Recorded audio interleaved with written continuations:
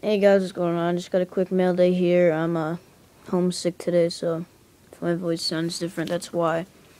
Um, so yeah, this is an eBay.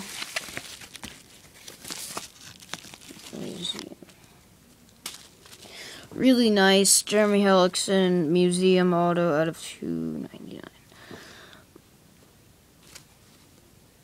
Yeah. So also, I'm gonna be doing a little rant. I normally don't do this, but Look at this. 92 cents. I paid $3 shipping.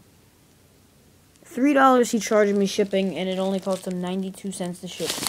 I think that's bullshit. Um, I don't know. That really pisses me off. Like,